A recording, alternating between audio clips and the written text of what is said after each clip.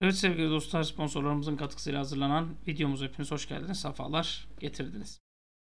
Her transfer döneminde Fenerbahçe'nin e, transfer politikasını eleştirip yerin dibine sokuyorsunuz. Özellikle bazı arkadaşlara buradan ince bir sistemim olsun.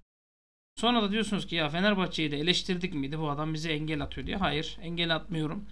Küfür, hakaret, iftira olursa o zaman engel atıyorum. Bilginiz olsun. Başka takımlara geldiğiniz zaman ise çok vicdanlı, merhametlisiniz. Çok yumuşak konuşuyorsunuz. Bun, ben bunu hazmedemiyorum. Yani söz konusu Fenerbahçe oldu muydu? Kimi alsa çöp. Söz konusu rakipler oldu muydu? Çöpü alsalar süperstar ilan ediyorsunuz. Ya da politikası doğru, şöyle yaptı, böyle yaptı diye. Beşiktaş'ın sınırlı bir bütçesi var. Sezon başında bazı transfer hamleleri yaptı. Ve yaptığı transfer hamleleri aslında düşük bütçede ve zarar eden Beşiktaş için intihar dedik. Güldünüz, geçtiniz. Ve şimdi Beşiktaş'ın o kötü hamleleri, sıkıntılı hamleleri aslına bakarsanız hani bir bir ortaya çıkıyor. Bunlardan ilki Beşiktaş sezon başında İstanbul Spor'dan transfer ettiği 21 yaşındaki stoper Emrecan Uzunhan'ı Antalya Spor'a kiraladığını açıklamış. Hocam bunda ne var? Futbolcuyu almış, tutmamış, kiralamış. Beşiktaş Emrecan Uzunhan'ı sezon başında bonservisinin %50'sini alarak yani bonservisinin %50'sine 2 milyon euro ödedi. Ve İstanbul Spor'dan transfer etti. 2 milyon euro arkadaşlar. Hani ağzınızı açtınız mıydı? Hocam biz de Buruma'yı aldık. Ya Buruma bak şu anda Braga'da çatır çatır oynuyor mesela. Sonradan giriyor ediyor. İnşallah az biraz da gol asist katkısı yaparsa daha ne biz bir şekilde satarız. Ama rakiplerimizin yaptığı zararı görmüyorsunuz. Transfer dönemi. Hocam biz transfer yapamıyoruz ki. Arkadaşlar Kulüpler Birliği transfer döneminin 5 Mart'a kadar uzamasını istiyor. FIFA'dan da yanıt bekleniyor ve herkes kesin gözüyle bakıyor. Haberiniz olsun. Bu sürecin uzayacağına dair. Daha çok benden uçaklı uçaklı video izlersiniz ama modumda değilim. Antalya Spor demişken Hatay Spor'un 20 yaşındaki forvet oyuncusu Bertu Yıldırım'la sezon sonuna kadar kiralık anlaşmaya vardı diyor. Arkadaşlar burada şunu söyleyeyim. Dün Erşat hocamla da konuştuk. Ona da buradan selamlar olsun. Ee, onunla da aynı fikirdeyiz. Bertu alabilirsek bence Bertu ciddi manada Serdar Dursun'dan daha yetenekli bir isim. Ve genç bir isim. Ve kaliteli bir isim. Kalibreli bir isim. Mesela Serdar Dursun'a ufak tefek bazı teklifler vardı. 2-2,5'luk kadarlık bu kadarlık. Ya da Adana Demirspor'un teklifi vardı. 2,5-3 milyon euro civarında. Ben olsam, Fenerbahçe'nin yerinde ben olsam Serdar Dursun Adana Demirspor'a veririm. 2,5-3 milyon euroya. Bertu satın alma opsiyonunu kiralarım. 3-4 ay denerim. Tutarsa ne ala. Tutarsa verir parasını bonservisini alırım. Tutmazsa derim ki bak ben denedim olmadı derim bu ihtimali hani eğer Antalya Spor'la kesin imzaladıysa bir şey diyemem ama kesin imzalamadıysa bence dikkat etmemiz lazım. Sabah Lopyanitse Trabzonspor görüşmesi olumsuz sonuçlanmış. Ee, ve Sabah Lopyanitse Karagümrük'te görüşme halindeymiş. Bu arada Fenerbahçe'de Karagümrük'le 18 Şubat saat 17 hazırlık maçı yapacak diye bir duyuru yayıldı sosyal medyaya ama resmi kanallar henüz açıklamadı. Eğer böyle bir maç gerçekleşecek olursa da zaten bu kadar kısa süre içerisinde bilet satışıydı, şuydu buydu falan filan olacak hali yok. Muhtemelen tesislerde yapılır ki şu aşamada ee, şu aşamada hemen hemen imkansız yani tribinde taraftarın ağırlanıp maç yapılması şu anda sıkıntılı arkadaşlar. Anlatabiliyor muyum?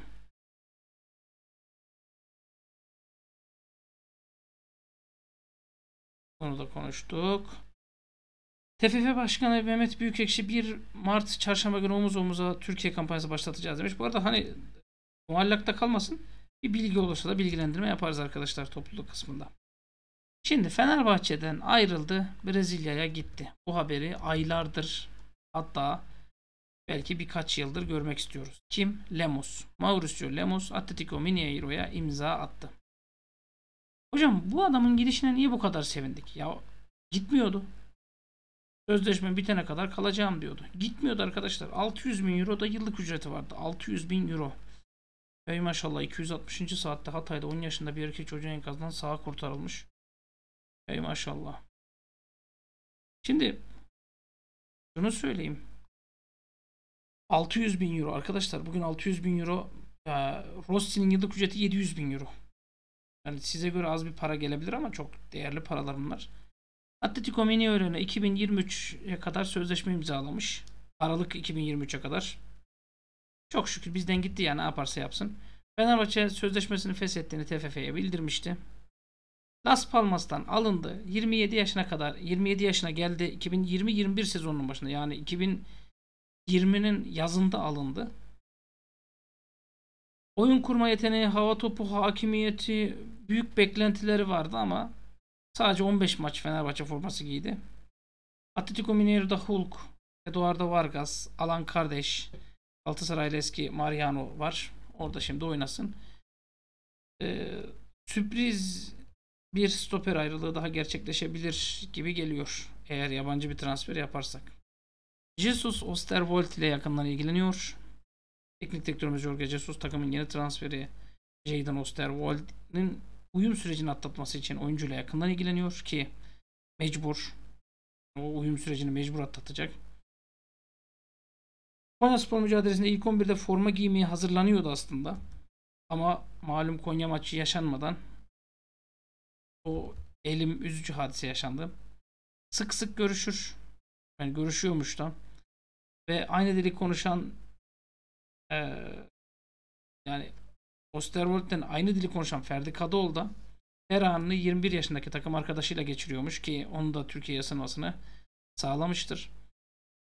Jesus Portekiz teknik adam sık sık özel görüşüyormuş ve afet bölgesi başta olmak üzere tüm ülkenin seferber olması karşısında son derece etkilendiğinde öğrendi diyor bilgiler.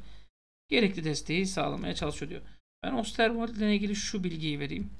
Şimdi şöyle bir süreçte hocam ya açıkçası ben böyle bir süreçte işte ne bileyim Konya Spor iyiydi. O anki Konya Spor çok kötüydü. Oynasaydı kesin kazanırdık. Diyen arkadaşları biliyorum. Bu zihniyette olanlar var. Yani bu düşüncede. Ama şöyle de bir durum var. Senin Serdar Aziz'in sakattı. Pedron sakattı. Batshuayi'nin kart cezası oynayamayacaktı. Kadronda 6 tane daha sarı kart sınırında futbolcu var ki bunlardan bir tanesi Ferdi Kadıoğlu. Artı Osterwold uyum sorunu vesaire vardı. Artı takım hep üçlüyle oynadı. Dörtlüye dönüş yapıldı ama sistem olarak tam oturmamış bir sistem vardı. Takım üstüne eklemeye çalışıyordu vesaire vesaire vesaire. Yani vesairelerle vesaire. Şimdi en azından takımın tam oturdu. Ama bu arada Konya Spor'da transfer yaptı ama bilmiyorum yani iyi oynuyor. Fenerbahçe iyi oyununu geliştirirse zaten mutlak favori olur maçlarda. Bir zahmet kazansın. Valencia Fenerbahçe'den ayrılacak mı? Mesela bak Valencia'da Batshuayi'de bence düşüşler vardı. Atilla Salah'da yorgunluk vardı. Samet Akaydın Salah'ı ikilisi çok birlikte değildi mesela şimdi çok daha iyi oldu. Şimdi Enner Valencia'nın menajeri Yıldız ismin geleceğine dair açıklamalarda bulunmuş. Ee, demiş ki arkadaşlar kısa ve net bizim amacımız Fenerbahçe ile sözleşme imzalamak. Bu konuda da olumlu şekilde yol alıyoruz. Valencia Barcelona'nın radarına girmiş bir oyuncu. Bu da onun işinin ne kadar iyi yaptığının bir göstergesi. Onu isteyenler tabii ki olacaktır. Ancak dediğim gibi ana hedefimiz burada kalmak diyor. Bu sezon 30 maça çıkıp 23 gol, 4 asistlik katkı sağlayıp bir de depremzedelere yönelik yaptığı hareketlerle gönüllere taht kurmuş bir isim. Hocam yaşı 33. Arkadaşlar Mertens'in yaşı da 35 diyebiliyorum. 35 buçuk hatta 36 olacak diyebiliyorum. Roberto Carlos Fenerbahçe'ye kaç yaşında geldi mesela? Baktığınız zaman birçok e, birçok şey var. Yaş değil de sahada ortaya koyduğu yürek önemli. Biz çok genç futbolcular da biliyoruz. Mesela Özer Urmacı'nın falan gençliğini de hatırlıyoruz ama e, bize oyun kalitesi lazım. Ve gelelim en bomba habere. Fenerbahçe'de Mason Greenwood gelişmesi. Mason diye mi okunuyor acaba? Mason Greenwood diye mi okunuyor? Transfer çalışmalarını sürdüren Fenerbahçe, Manchester United'ın genç futbolcusu Mason Greenwood'u gündemine aldı. Aa, bir yaşıma daha girdim. Gerçekten almış mıyız gündemimize ya? Transfer çalışmaları sürdüren Fenerbahçe hücum hattına önemli bir takviye yapmaya hazırlanıyor. Bir süredir temaslarda bulunan yönetim gözünü İngiltere'ye çevirdi. Manchester United'ın yıldız oyuncusu Greenwood listeye eklendi. Premier Lig ekibi Manchester United'ın genç oyuncusu adı taciz suçlamalarında geçmişti. Eski kız arkadaşına fiziksel şiddet ve taciz suçlamalarıyla yargılanan 21 yaşındaki futbolcu beraat etmişti. Suç tespit edilemese de protestolar sebebiyle kendini futbola veremeyeceğini düşünen Manchester United yönetimi Greenwood'un Fenerbahçe'ye gitmesi için telkinde bulunuyormuş. United'lı idareciler oğlum git lan kendine gelirsin falan diyorlarmış. Yani ada dışında bir ekibin doğru seçenek olduğunu söylüyorlarmış. Hani rahat bırakırlar diye. Ayrıca mahkemede büyük oranda aklanmasına rağmen Manchester United dönüşü de kolay olmayacak. Çünkü A takım oyuncuları, sponsorlar ve kadın futbol ekibinin Greenwood'a karşı ön yargıyla baktıkları belirtildi. Genç oyuncu da bu dönem yurt dışında geçirmek istiyor. Kulüp kariyerinde 176 maç, 79 gol kaydetmiş bir isimden bahsediyoruz. Şimdi.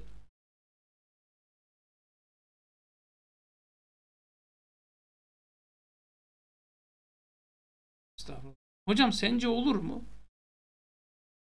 Ya şunu söyleyeyim. Biz hani he for she yapmış bir kulübüz. Kadınlara değer veren bir kulübüz. İstanbul Sözleşmesi yaşatır maşatır falan filan demiş bir kulübüz. Anlatabiliyor muyum? Ee, hani bir sürü şey sayarım. Bir sürü şey sayarım. Peki hocam sence alınmalı mı? Ya daha 21 yaşında bir çocuktan bahsediyoruz.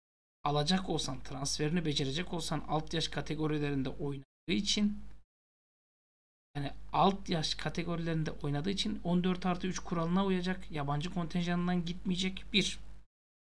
Geleceğin yıldız değil süperstar adayı. 2. Becerebilirse mesela rakibin Zaniolo'yu almış. Nedir Zaniolo? Genç süperstar adayı. Yani söylentilere göre Southampton 60 milyon euro vermiş. Galatasaray'ın 15 milyon eurosuna tamam demişler. Bu, bu kadar da abartmayın lan. Saçmalamayın. Ben size o işin gerçeğini söyledim. Ee, Galatasaray yıllık ücret olarak 5 milyon euro verdiği için gelmiş. Southampton kulübüydü sanırım. 2.25 ee, eline geçecek şekilde mi vermiş? 3, 3 milyon euro mu eline geçecek şekilde sözleşme teklif etmişler. Hani vergilerle dörde mi çıkmışlar? Ne yapmışlar? Oh.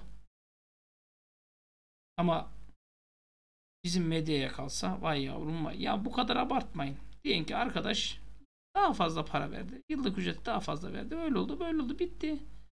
Abartmanın lüzumu yok. Ha şunu söyleyeyim.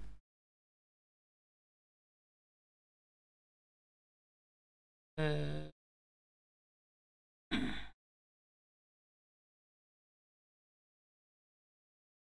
şunu söyleyeyim arkadaşlar. Eğer Fenerbahçe bu Greenwood'u getirebilirse, becerebilirse bence Zaniolo transferine tam olarak karşılık vermiş olur. Tam olarak. Bak tam olarak karşılık verir. Artı hocam biz 15 milyon euro veremeyiz. Bu çocuğu biz ücretsiz kiralama 6,5 milyon euro opsiyonla almaya çalışıyoruz. Eğer becerirsek bence iki kez Zaniolo'ya karşılık vermiş olur. 5 milyon euro aldılar. Sonraki satışın karının da bilmem yüzde kaçını da ona verecektir. E, e kaldı lan geriye. Ya Türkiye'den en pahalı giden Cenk Tosun'du sanırım 22.5'a. 22.5'a gittiğini düşün. 7.5 milyon euronun yüzde bilmem kaçı zaten 1.5 gitti. 6 milyon euro kar elde edeceksin. Yani hani giderse diyorum. Belki daha pahalı gidecek bilemem onu. Valla ben He for She'sini de şunu da bunu da düşünüyorum. Taraftarı da düşünüyorum. Futbol anlayışımı da düşünüyorum. Futbol bilgimi de düşünüyorum. Hepsini düşünüyorum. Ama bunları düşünürken de şunu söyleyeyim. Keşke becerip alabilsek. Keşke becerip alabilsek. Görüşmeler sürüyor. İstediği kadar birileri yalanlasın, yok desin. Hatta Fenerbahçe başkanı çıksın desin ki yalan diyorum arkadaş böyle bir şey yok desin. Ben de Fenerbahçe başkanını yalan diyorum. Böyle bir şey var. Ama olur mu? Ya olmaması için hiçbir sebep yok ama e, süreç sıkıntılı. Hocam o gelse kimin yerine geçecek? Lan dedim ya 14 artı 3 kuralına. Bak Nauma bir Kanada. Bu da diğer Kanada alınırsa biri 19, biri 21 yaşında. Ferdi zaten 23. Osterwold 21. kanatların hem makina gibi hem genç isimler. Hem makina gibi hem genç isimler. Batshuayi tecrübeli tamam. Altay bence o da genç sayılır. Atilla Salahi de genç. Yani hem para edecek futbolcular hem kaliteli futbolcuları bir araya devşirmiş olursun. Formamıza yazdıracak isim yok diyen arkadaşlar da formasına bir şeyler yazdırabilir artık diye düşünüyorum. Valla bir taraftan Gabon'dan, oradan Kamboçya'dan, şuradan buradan altyapıya gençler getirip, bir taraftan Arda Güler'in oynayıp oynamamasını dert edinip, bir taraftan Valencia gibi 33 yaşındaki futbolcudan gol krallığına depar atmasını görüp, bir taraftan Crespo'yu, e, Salah'ı seviyesinde tutmaya çalışıp, bir taraftan puan olarak geride olduğun şampiyonluk yarışında şampiyonluğa inanıp bir şeyler yapmaya çalışıp, bir taraftan hakemlerle, bir taraftan medyayla Şimdi şu son günlerdeki şu kadar olumsuz haberlerle savaşmaya çalışıp yoluna devam etmek çok zor bir şey. Jesus olmak bunların hepsini idare etmeyi gerektirir. Ben Jorge Jesus'a bırakıyorum. Ama ben bir taraftar olarak sizlerin sözcüsü olarak diyorum ki çek sağa Greenwood'u çek sola Naumah'ı 2 Forvet'e de Bertuğ'u çek 3 Konuşan olsa ben ağzına yapıştırırım tokadı. Konuşan direkt ağzına tokadı yapıştırırım. Hocam peki sen çek hadi. Hani oğlum Nauma alt yaş kategorisine uyuyor dediler 14 artı 3'e. Uyarsa ne güzel. E Greenwood da uyuyor. Ne güzel. Yabancı yabancı değil. E Bertu zaten Türk. Bu sene şu e, rezervlikten dolayı da kadroyu geniş yapabilme hakkı tanıdılar. Daha ne istiyorsunuz arkadaşım? Al sana çatır çatır transfer imkanı. Hakkımızda hayırlısı olsun arkadaşlar. Ama Fenerbahçe çalışıyor. Yapabilir mi, yapamaz mı? Bilmiyorum. Galatasaray Hatay Spor'dan Sam Adekugbe'yi 1 milyon euro satın alma opsiyonuna kiralık olarak kadrosuna kattığını açıklamış. Ee, ha bu arada Karagümrük Gökbenitse'yi kadrosuna kattı diyor ama e, hocam Borini ne olacak? Ya Borini için 2-2,5 milyon eurolar konuşuyor arkadaşlar. 2-2,5 milyon eurolar konuşuluyor. Biz bu paraları veremeyiz. Beşiktaş verebiliyorsa versin alsın. Bu arada bu Adekogbe'de Hasan Ali Kaldırım'ın şey şubesi diyen arkadaşlar da var. Size bırakıyorum yorumunu. Yani ee, bunu Fenerbahçe alacak olsa atıp tutuyorsunuz. Ha ben şunu da söyleyeyim aklıma gelmişken. Bakın iki takım ligde olmayınca yani takım sayısı 17'ye düşünce takımların transferleri de ortaya düşünce aslında kadro kaliteleri yükselmiş oluyor. Farkında mısınız? Yani her takımın kadro kalitesi biraz daha artmış oluyor. Demek ki sayının düşük olması lazım ki biraz daha kalitelerin yükselmesi için. Yoksa hani fark yiyici takımlar ortaya çıkacak. Bu arada hala düşecek sayısı belli değil. 4 mü düşecek? 2 mi düşecek belli değil. Ama eğer 4 düşecek derlerse ortalık 56 olur. Bakın şimdiden de uyarıyorum. Hani 4 takım düşecek denirse karışır ortalık. Elinden söylemesi. Destekleriniz için, beğenileriniz için Aboneliğiniz için, yorumlarınız için hepsi için teşekkürlerimi sunuyorum. Artık hayat mecburen yavaş yavaş normal akışına dönmeye başlıyor. Bizler de artık normal videolarımızı çekmeyi sürdüreceğiz. 24 29.000 yani 29.084 abone gözüküyor bende. 16 abone daha geldim. 29.100 olacağız. Desteklerinizi, aboneliğinizi bekliyorum arkadaşlar. Görüşmek üzere.